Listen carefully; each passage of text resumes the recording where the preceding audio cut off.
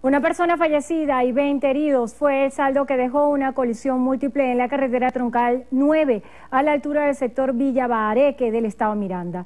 Según las autoridades, el siniestro se registró a las 3 y 30 de la madrugada de este viernes, donde colisionaron dos autobuses y dos vehículos de carga pesada.